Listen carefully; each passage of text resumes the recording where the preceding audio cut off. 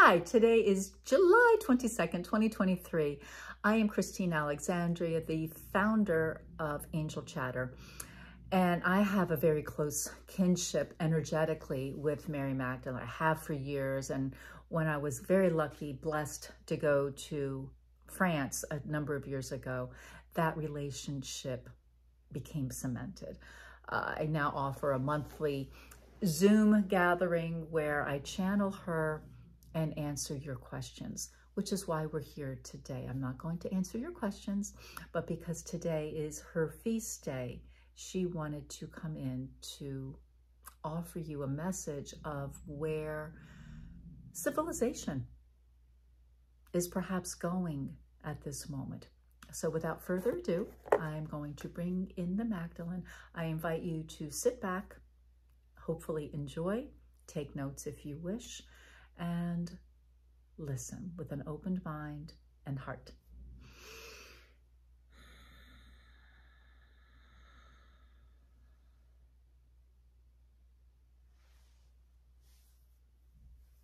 Hello, my children. And yes, you are on a precipice of sorts at this moment. It may feel as though the world has turned upside down. Remember, as Christine has shared many, many times, this year, 2023, is the year of healing. Healing is not just healing a hangnail or a headache or worse physically. It is also healing in that level of the mental, of acknowledging your thoughts, may have served you in the past, but now they are no longer serving you. It is time to change how you view the world mentally, emotionally, and spiritually.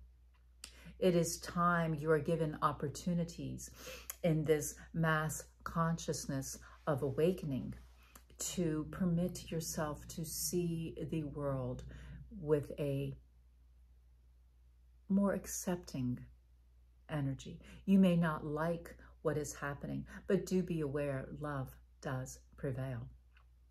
Do be aware that as you permit yourself to heal, you are then sending the healing to others that may have a similar thought process, a similar illness.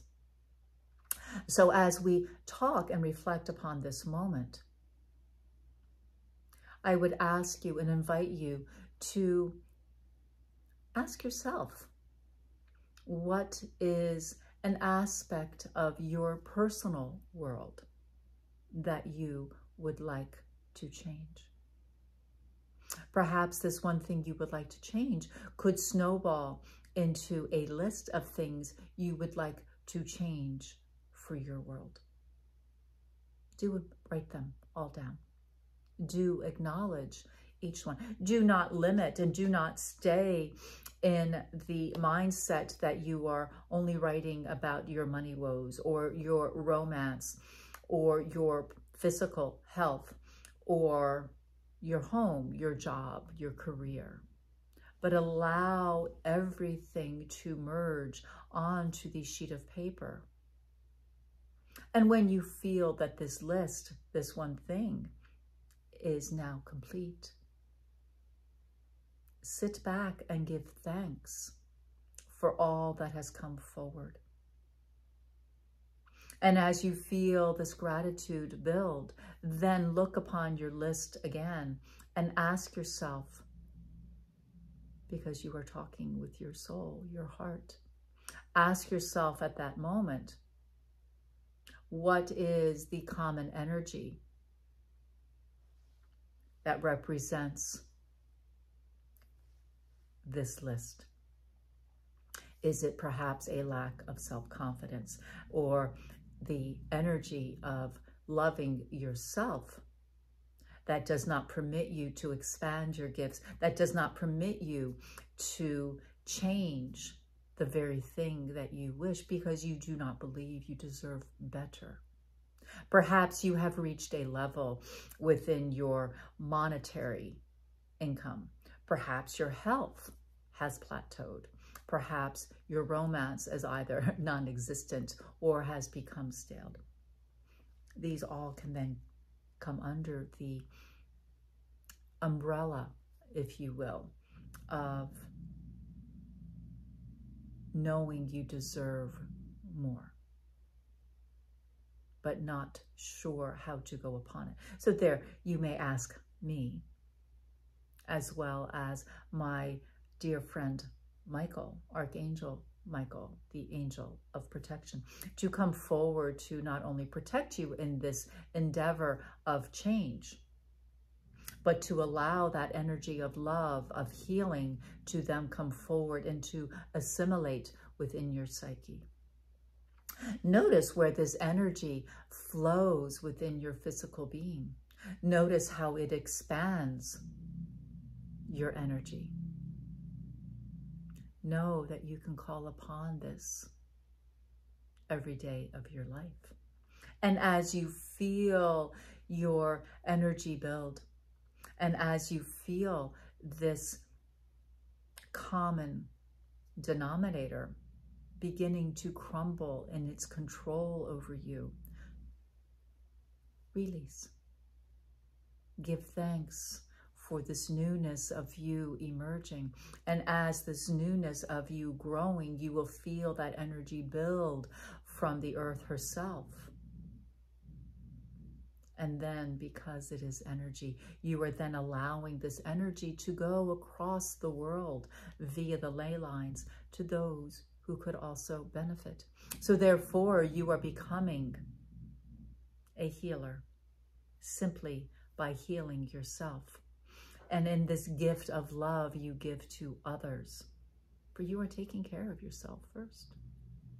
In this gift you are giving to others, you are helping the masses to also awaken. This is an important time in the human's evolution. The, oh, what is the word I desire? The uh, misfortunes of those could be, could be cured, but the ego is strong, is it not?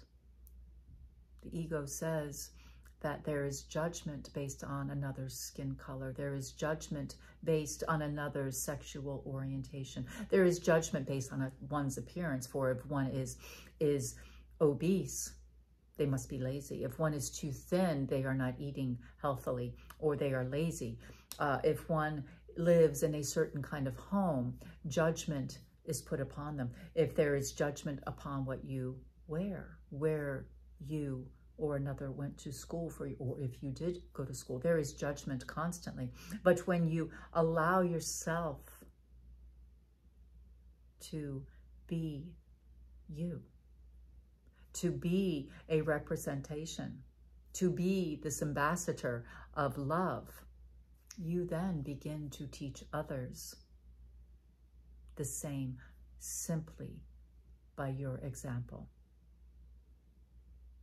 this energy of love. This is not something that is new, but it is something that has come uh, quite diluted over the centuries. And I shall remind you that love has no conditions. It is humans that have put the conditions on love. To now you say it is unconditional love. And I say stop. It is not when you say, I love them, but that is your condition, my darling. It is when you say, I love you and I accept you for whom you are and how you look. And that includes how you love yourself. It is this energy of love that can change the world. It is the energy of love that permits and embraces forgiveness. Forgiveness does not mean forgetting. Forgiveness means that you are no longer having this energy control your actions or inactions. It is love. So allow yourself to absorb this energy of love. Love is strong. Love protects you. It is when your mind thinks it is loving but it is too busy thinking and controlling and laying conditions. It is when you love from here that the change can be made. I invite you to join us in sacred community. I will permit Christine to share this with you when I am complete with this transmission. But do understand, my child, that you are loved. You have a gift and you deserve what you dream of. The change is now, but it is up to you to permit it. I remain the Magdalene.